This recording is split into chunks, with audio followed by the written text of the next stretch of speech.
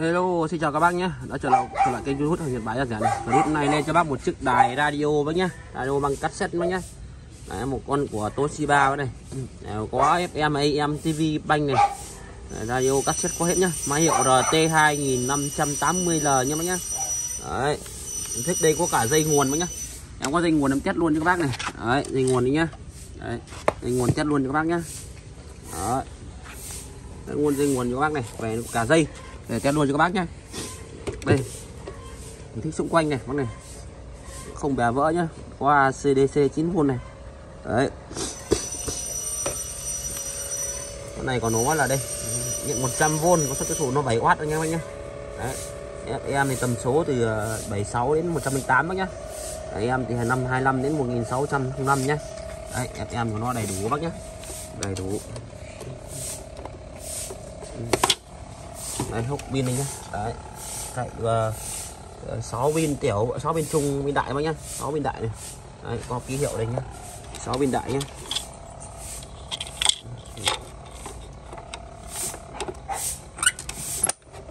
Đấy. đây nhá bên này có mic này, này. Đây có ra cổng mic nhá. Cổng phone này. Cổng AUX nhá. Đấy, đây.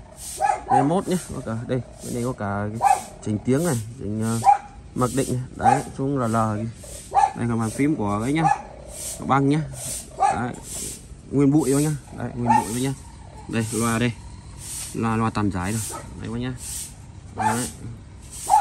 đây em thử test cho các bác nhé đây, test cho các bác xem tìm cái vật liệu à. nếu như ta đi tìm các cái gỗ tự nhiên thì nó rất là nhỏ mà mình để đáp ứng được một cái tranh khổ tương đối thì là Nam mình thì vô cùng phức tạp tức là có lúc lên gần một trăm phần trăm có lúc thì rất là hay không à, thứ nhất là đối với cái mùa nồm ẩm này thì à, nhân dân cũng biết được là cái mùa phát triển của virus vi khuẩn đặc biệt là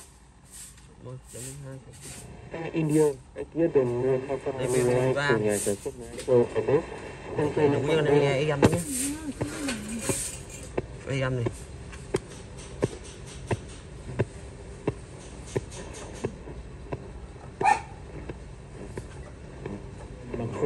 Cũng công nghệ thỏa thuận giữa Airbus và Tata Sons, chủ sở hữu của Air India.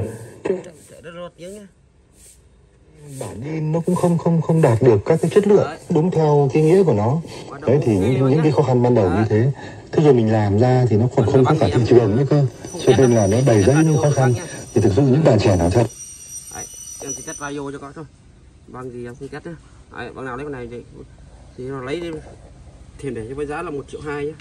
1 triệu 2 Nếu bằng chốt hàng thì vui lòng hẹn hệ có số điện thoại 0983 329 755 đấy. Cảm ơn các bác đã theo dõi video nhé. Xin chào các bác, hẹn các bác ở clip tiếp theo. Xin cảm ơn. Đây, một trang dài thôi đầy đủ nhé.